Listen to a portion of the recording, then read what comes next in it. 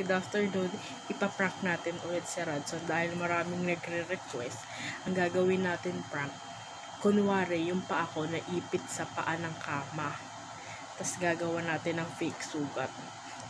Tap, kasi nung isang araw nagpalinis ako ng paa, yung yung kuko ko na sugatan. So gagawin natin kunwari double kill.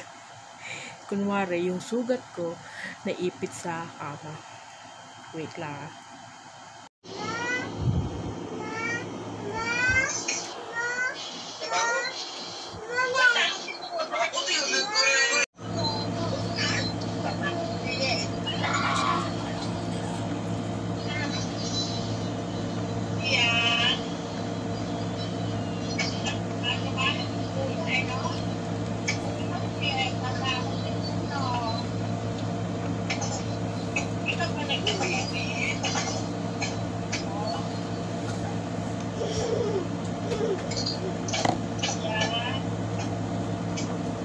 Kausapin mo si mama, nagpapatuyo ako ng hair eh.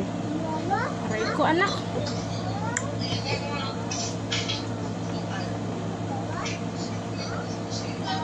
Kausapin mo sila mama.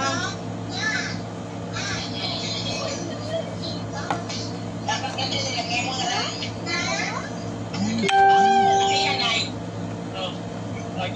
you.